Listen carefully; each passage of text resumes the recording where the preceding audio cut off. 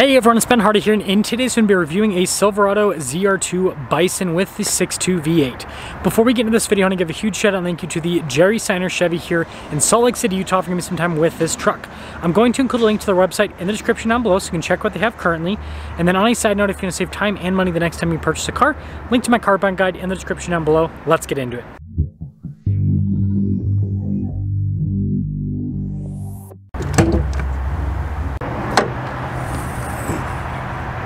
Under the hood, we have a naturally aspirated 6.2 liter V8 that goes through a 10 speed automatic transmission. Fuel economy is 14 around town and then 17 on the highway, with power outputs being 420 horsepower and then 460 pound feet of torque. Now, before we move forward with this review, I do want to mention if you want to see more videos just like this, then I recommend you subscribe because I post content every single day. So starting with the hood, first off, this is a pretty cool metallic gray, but you guys can see blacked out here on the top, and then we got our 6.2L badge as well. And then popping down below, really cool headlight design. And then you guys can see with the rest of the grill how it's blacked out, got the ZR2 badge there. And then you've got the Chevy bow tie as well. And really chunky recovery points down below. We also have fog lights built in. And putting it all together with the AEV bumper that's been added to this Bison package, it makes the ZR2 look a whole lot better in my opinion. Obviously makes it better off-road because of the durability of that bumper. I mean, look at the stock one.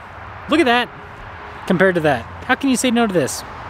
Now around the side here, our tire wheel setup is 275, 70, 18 in the front and over in the rear. And you can see with the wheel design also looks really cool with this particular package. Again, I like this a little bit more, than, or not a little bit more, quite a bit more than the stock wheels in the ZR2. Aggressive all-terrain tires. This is lifted a couple inches, just like the Trail Boss.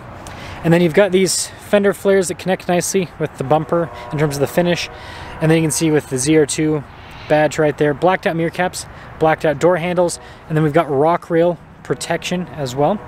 And then popping here to the back, we've got the Multimatic shocks with this. We also have leaf springs.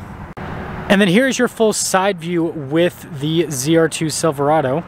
And then taking a look at the key fob, we have our lock and unlock function, remote start, we got the tailgate drop down, and then the Chevy bow tie there on the back. And then taking a look at the rest of the tailgate, this has the multi-pro. So first off this, can do the cool drop down function, which is nice, turns into a step and everything. And we'll fold up the rest of it in a minute, but pretty easy to use. And then we've got our LED lights here in the back. We also have a full power outlet. And I like how Chevy always does bedliners. Or I shouldn't say, I mean, I'm pretty sure they always do. I've, I never see trucks without bedliners from the factory. Anyways, lifting it up, easy to get into place. Pretty cool taillight design. You guys can see the AEV badge. And then we've got the cool matte black accent here on the tailgate. And then we've got the upgraded bumper with this. Again, really rigid recovery points. And then down below you can see the higher clearance exhaust tips. And we also have a full-size spare. Putting it all together, let me know your thoughts on the design on the exterior with this Bison package ZR2. Now taking a look at the door panel, you've got this design here to make it so it's easy to clean, and then I like this trim that goes across. Got the neon stitching as well, and then more storage down below. And I guess you could kind of use the rock rail, like you could use that as like a side step in a way. And then the easy to clean design continues onto the seats, also have the behind the seat storage, perforated all down the center, which is cool. And then got more storage underneath, flat loading floor in front. And then legroom in the back's really good. We also have a little storage pocket. We've got some cup holders here. And you can see vents. We've got the USB ports. You also have heated seats. And then cup holder armrest in the back. And headroom. It's good. Now take a look at the front door panel again. Easy to clean design. Got that cool trim piece and then neon stitching down below. All of our window controls, front to are automatic. Your mirror adjustments, the mirrors do power fold in. We also have the memory seat function, speaker for the Bose sound system blind spot monitoring with the mirrors. And then with the 6.2, 1,084 pounds of payload capacity with this package.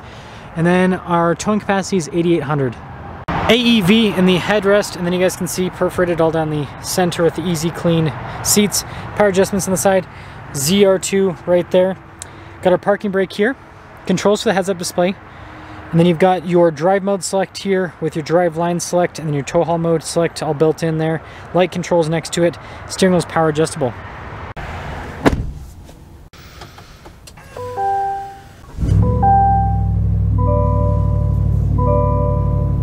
Now here's a look at the steering wheel. You guys can see soft touch all around. We also have paddle shifters on the back for the 10-speed. Radio controls are also in the back of the steering wheel. Got controls for the center stack, voice command controls, cruise control with our heat steering wheel button. And then we have our turn signal windshield wiper stalk. And then here's the gauge cluster fully digital, and we can use it to scroll through and see different bits of info on the truck itself. We can also go to the tow haul mode, and then we also have a sport mode, an off-road mode, and then a terrain mode. Uh, off-road mode is for high-speed off-roading, terrain mode is for rock crawling. Now we have a 360 camera system here, so bird's eye view, and then backup camera with trajectory lines that turn with the steering wheel.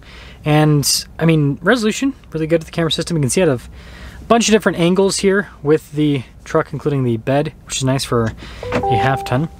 And then as for the rest of the infotainment system, you've got that auxiliary screen here on the side. Got the main screen, all responds pretty dang well. Has Apple CarPlay and Android Auto and a shortcut bar here. And then you also have a couple physical buttons. And then we have this for the lane departure, parking sensors, auto stop start. You've got your tailgate drop down, hazard lights, stability control, hill descent control, your rear locking differential, and that's for your front locking differential. And I like the trim piece that goes across. Trailer brake controls, We've got this for our climate system, so dual zone climate. We also have heated and ventilated seats in this area, and I like the finish on the buttons. It makes it feel a little bit more premium. More storage here. Got a couple cup holders. Got your shifter for your 10 speed. And even the center console has that easy to clean design, which is cool. And then you guys can see with the wireless phone charging pad, USB's full outlet as well. And then look at the dash. And there is a heads up display. I don't know if it's going to pop up on camera though very well. Trust me, it's there. But yeah, nice trim on the dash. And I like this on the outside too the stitching goes across.